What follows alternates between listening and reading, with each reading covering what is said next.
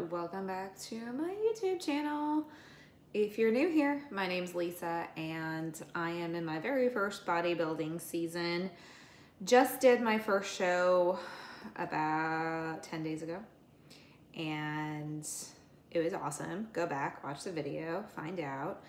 Um, but I wanted to give you all sort of an update because things have changed. Plot twist for sure. So I'm gonna talk while I measure out my dinner because like that's what I do, you know, and yeah. So, um, last video I sort of left you at, um, you know, the couple days post show, what my plan was, stuff like that. Um, and uh, what the plans were. So literally within hours of me recording that, the plans changed. So here we are, um, almost a week later since I recorded that. So I'm just gonna give you a quick update in terms of like my macros and stuff like that, and then I will get into the sitch with the shows. So hang tight. I need a knife. So, um, where I last left you was last week. We were increasing my carbs because I was losing weight post show. So we were reversing me to avoid any more weight loss. I was already, and you're like, probably, bitch, what? Like, aren't you supposed to lose weight to get ready for show? Yes. But um, within what, three, four days post show, I had lost two pounds, um, even with like my free meal and stuff like that. And I was lean enough for the show, for my division, stuff like that the actually the feedback I got was they wanted me more full, um, which doesn't mean higher body fat. It meant that they want my muscles filled up more, i.e. with carbs. So we started increasing my carbs. My coach has me sending in my weight every day and um, last week when I had told you we he had increased my carbs up to 185, which is a little bit more than double what they were at the end of prep, like before the first show. And um, I saw a slight increase, but still not back to where we wanted me to be he wants me really like in the 123s and I was like at 121 still. So then Friday he increased my carbs to 200 and I lost weight. So then Saturday he upped my carbs to 220 and uh, I actually was able to go out on a dinner date with my husband, which I didn't take any pictures of my food or anything because um, we just needed to be disconnected. But I can tell you we went to a, I chose the place, we went to a steakhouse. So I had a filet, it's a very lean cut of meat. I asked them to make it with no butter and they literally had grilled asparagus and baked potato. So I brought my little travel scale and I weighed out you know, that stuff. But basically, it was super easy to include in my macros. I was just protein, carbs, and veggies. Like, you can't eat out and still eat healthy. It's about portions, right? But it was nice. We got out of the house without children. Somebody else cooked my motherfucking food, which was amazing. Swear to God, the food just tastes better when you're not the one who's making it. So, yeah. Um, so anyway, I woke up the next morning and I was like, I'm gonna be so like gross. Um, but actually I was the exact same weight as Saturday morning. So he was like, okay, let's hold steady at the 220 carbs and see how you do. Um, and then Monday morning, I, so Sunday I had a, my heavy leg day, the one that I really don't enjoy actually. Um, So I was a little bit sore on Monday. We did see an increase on Monday, finally, just to the low 120, no, mid 122s, um, which could have been some soreness or water retention, but whatever. And then I was basically the same weight again this morning. So we've been holding my weight at the 220 carbs. And my protein, sorry, my protein is still 140. That's where it's been for a very long time. We've mostly been increasing carbs, but he has slightly increased my fats uh, as we went. So my fats are up to 52 and they were like 35 at the end. So I used to be at 140 protein, 90 carb, and 35 fat. And right now I am maintaining my weight at 140 protein, 220 carb, and 52 fat. So it's pretty crazy. I, like I said in the last video, I am a hard loser, so I don't even, I don't even understand how this is happening, but I guess like when your body is coming out of that depletion state, it's just like so much more sensitive, but you know, we're watching it. We don't want things to get out of control. Um, but we do want to make sure that we're keeping my muscles full or getting them fuller because that was the feedback that we got. Um, and I went over the feedback in that whole video. So if you don't know what I'm talking about, go back and watch my recap video. It'll make more sense. Um, so that's that. Um, I'm still sending my weights in every day. And then on my normal check-in days, which are Monday and Thursday, I am also sending in pictures just so he can see um, how my body is responding to it. We are making sure to keep my fiber low though with the 220 carbs. So I'm not going crazy and like eating all these fun foods. Like I am keeping it pretty simple because, you know, we learned with some of my loads previously, and again, that was in an older video, that um, my stomach did not like when we added in too much fiber. So we don't want to go there. So I have been keeping my carb sources to um, rice, rice cakes, potatoes, and oats. So I'm not having a bunch of chips and shit, people, and candy. Um, but I can say I had a bagel and it was fucking amazing. Like bagels are probably my most favorite thing in the whole world. Um, it was fucking amazing.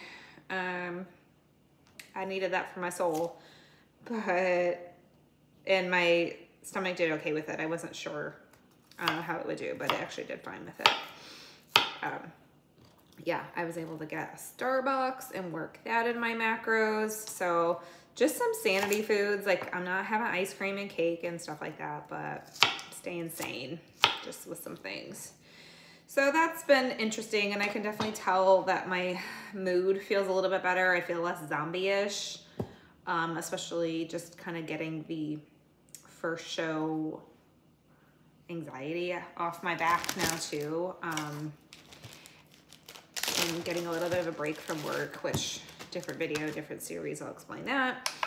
Um, so anyway, that's the update on the weight and the food. Um, the, oh, my workouts. Oh, I'll get in the workouts in a second because it's affected by shows. So my show plan is, was I'm all over the place. Sorry. Okay. So my plan had originally been to do a for April 29th Natty Revolution show where I could cross over and do both bikini and figure. Because remember, this is my first season and we're trying to see where I fit best. Um, which one I like better and also try out different federations because each federation is just a little bit different on their standards and how they run their shows, stuff like that. So, you know, um, we're kind of just sampling the, the buffet here of the bodybuilding things. So, yeah. Um, anyway,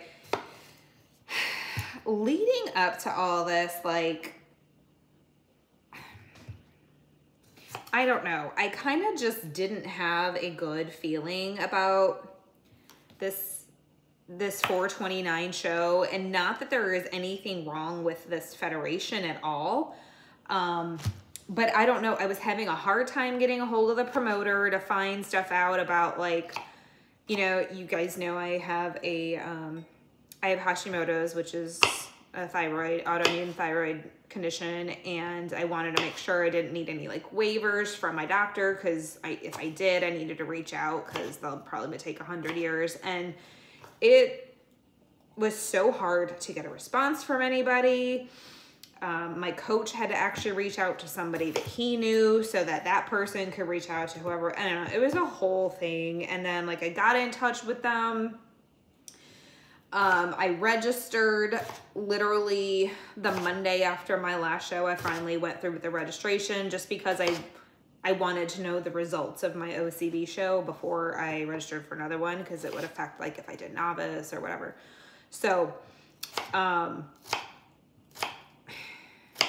yeah, I was not getting a competitor packet, so I had no information on times and schedule and tanning vendors and all that stuff like that you need. And I was approaching bare like being a week out and having none of this information. And like this I don't know. It was just reinforcing um like I said my initial gut feeling that like I don't know. I just didn't have a good feeling about how this this particular show was being organized. And literally again within hours after my last video my coach had texted me and he's like hey just a heads up i got wind that they may be canceling your 429 show. And i was like oh, figures that would explain why i'm not getting any information.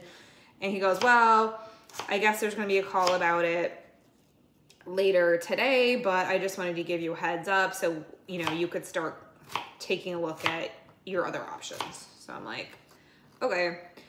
Um, which I'm glad he gave me the heads up. I uh, took a look at, you know, all of the options, show dates, locations, stuff like that. You know, they said that they would be willing to transfer the registration to um, another show that weekend, but it would be up like in Detroit.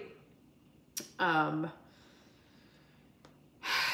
I don't know. And I talked to in the last show about like I had originally had the 429 show scheduled and then I was supposed to be doing another OCB show in Indy, Indianapolis on 5-6. And I just have been thinking like the only class I would be able to compete in at that 5-6 OCB show would be open because I already obviously can't compete in novice now and I have a pro card for masters, but you can compete in amateur open with a master's pro card as long as you haven't competed as a pro yet. So I don't know, it's a whole thing. But then I got to thinking like that's not very much time on stage to just compete in the open category or class category. I don't know. I don't even know the right terms anymore still. Um, but like it would require like all my husband and my kids going down to Indy. It's like two and a half hours away. So I would stay at a hotel two nights and like, I don't know. I was just like, I just don't know that it's worth it. And I know I've said in a couple of the previous videos, like we had a situation with a family member and I didn't really want to be that far away. And I was kind of looking at the options. They were talking about transferring and I was like, same thing, the show up in Detroit, like that's, four, five hours away. I, I don't know. I just, I wasn't liking the concept of traveling that far right now. So yeah, I, I did some research on what my other options were and I was like, well, what if I just don't do a show on 429 and sort of change the plans because I don't know that I want to do the show in Indy on 5-6 either. So I was like, how about we do the show on 5 6. The show on 5 6 that I was looking at is like 25 minutes away from my house. It's the same federation, the Natty Revolution. Um, it's actually an all women's show, which is kind of cool. Um, but like it's closer to home. It didn't have the drama of, you know, all this other stuff. So I said I'm kind of leaning toward just switching to that one on 5 6. Um, not doing, going for the OCB open pro card. Like we'll decide what to do with that later. And then I still wanted to do an NPC show for bikini because we know that figure I'm too small for NPC because that's the non-drug tested one. So, um, you know, I'm like, why don't we just do 5, 6, 5, 13 and then call the season over and sort of decide with all of that information, experience, and feedback, like what we're thinking going forward after that. Um, so that was kind of what I was toying around with, you know, blah, blah, blah. And that was Wednesday night. I asked some feedback from, you know, some of my friends and my husband is probably like the most rational thinking person I know. And I ran some stuff toward him. And, you know, he, he had asked me questions about like, you know, what, what is my goal? What do I want to do with this? And cause that would determine more of my um choice, I guess. It would like lead me to the choice. And I really found that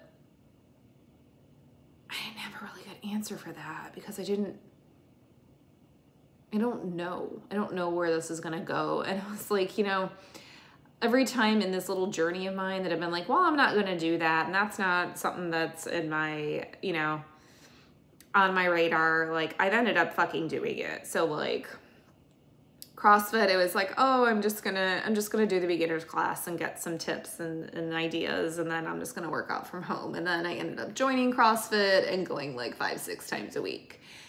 And then it was like, I'm starting a nutrition thing, and it's like, oh, I'm not gonna be one of those obsessive people that weighs all their food. Well, right.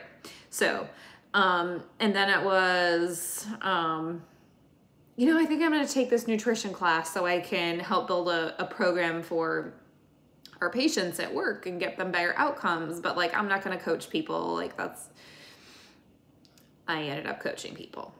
I ended up starting my own business to coach people. And then it was, I'm going to do bodybuilding, but I'm not going to go on stage. Um, fucking went on stage. And so now it's like, now I have my pro card. Now what? So I don't want to take anything off the fucking table because like it doesn't matter. It's probably going to change. So I don't know. I guess it kind of made me realize that I don't know where this is going. I just need to keep my mind open and like trust my instincts, I guess. And I don't know if anyone else is like this, but well, I'm sure there are.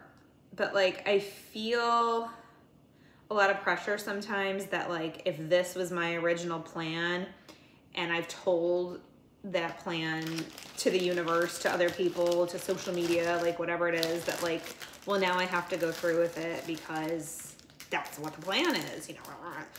And I'm not doing this to fucking please other people. And I'm 40 years old. Like, I need to start pleasing me.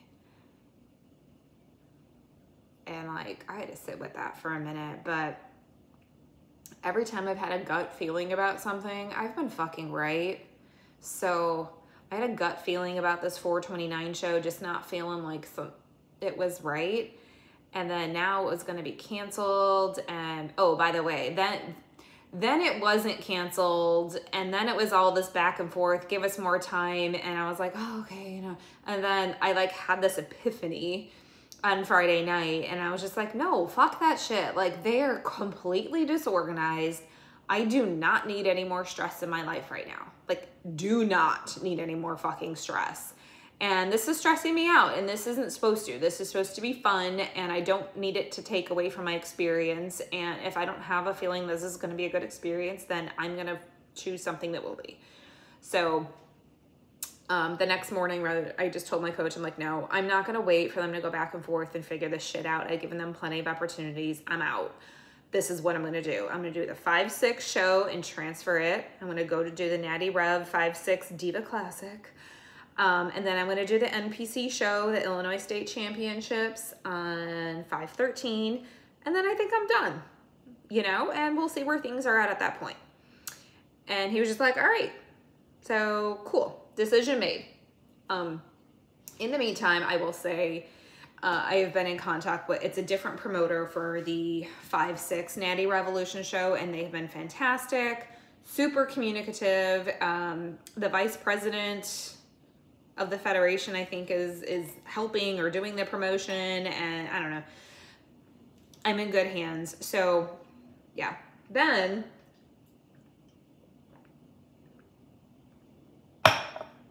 then, you know, I was telling him, I, you know, I'm going to sign up for figure and bikini and blah, blah, blah. And then like, okay, we'll work on getting your payment from the last one transferred over.